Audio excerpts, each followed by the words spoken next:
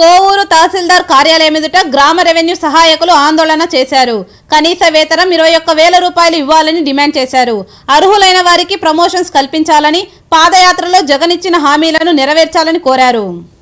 ఈరోజు గతంలో చంద్రబాబు నాయుడు అధికారంలో ఉన్నప్పుడు ప్రతిపక్ష నేతగా ఉన్నటువంటి జగన్మోహన్ రెడ్డి గారు విఆర్ఎల్ ధర్నా దగ్గరకు వచ్చి విఆర్ఎల్ యొక్క సమస్యలు పరిష్కరిస్తాము మీ యొక్క జీతాలు పెంచుతామని చెప్పేసి స్పష్టమైనటువంటి హామీ ఇచ్చారు. దాదాపు రెండు సంవత్సరాలు పూర్తిగా వస్తుంది. ఇంతవరకు ఒక్క సమస్య కూడా పరిష్కారం కాలేదు. తెల్ల రేషన్ కార్డు ఉంటే ప్రభుత్వ సంక్షేమ పథకాలన్నీ కూడా వర్తిస్తాయి ఎవరికైనా.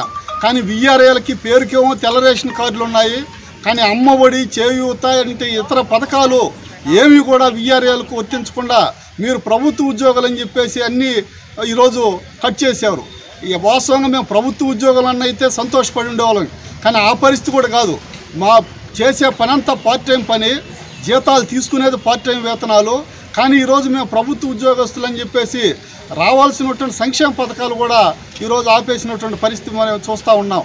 అదేవిధంగా ప్రమోషన్లు దాదాపు ఇంకా నూట యాభై ప్రమోషన్లు ఉన్నాయి విఆర్ఓ పో పోస్టులు. వాటినన్నింటిని కూడా భర్తీ చేయాలని చెప్పేసి మేము డిమాండ్ చేస్తున్నాం. ఇప్పుడు ఉండేటువంటి పరిస్థితుల్లో కనీస వేతనం ఇరవై ఒక్క వేల రూపాయలు లేదే ఒక కుటుంబం జరగదని చెప్పేసి రాష్ట్ర ప్రభుత్వమే చెప్తా ఉంది. అటువంటిది విఆర్ఏలు పదివేల ఐదు వందల రూపాయలతో ఏ రకంగా జీవనం గడపాలని చెప్పేసి మేము అడుగుతా ఉన్నాం. అందుకనే ఇప్పటికైనా సరే ముఖ్యమంత్రి గారు వెంటనే ఈ రాష్ట్ర ప్రభుత్వం స్పందించి బీఆర్ఏల న్యాయమైనటువంటి కోరికలు ఏదైతే ఉన్నాయో కనీస వేతనం ఇరవై ఒక్క వేలు ఇవ్వాలని చెప్పేసి అదేవిధంగా నామినీలు విఆర్ఏలుగా గుర్తించాలని అర్హులైన వాళ్ళకి ప్రమోషన్లు ఇవ్వాలని చెప్పేసి మేము విజ్ఞప్తి చేస్తా ఉన్నాం.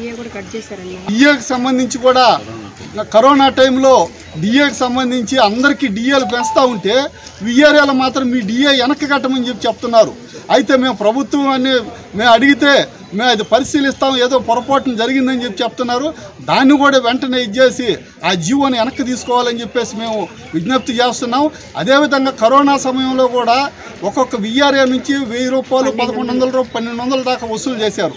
ఆ డబ్బులు ఉద్యోగస్తులు అందరూ తిరిగి ఇచ్చారు. కానీ ఒక విఆర్ఏలకు మాత్రం ఆ డబ్బులు ఇంతవరకు జమ చేయకుండా దాదాపు జిల్లాలో ఉండేటువంటి రెండు వేల మంది విఆర్ఏల దగ్గర ఆ డబ్బులు వసూలు చేశారు. కానీ ఇంతవరకు మళ్ళీ తిరిగి ఇవ్వలేనటువంటి పరిస్థితి కూడా ఉంది.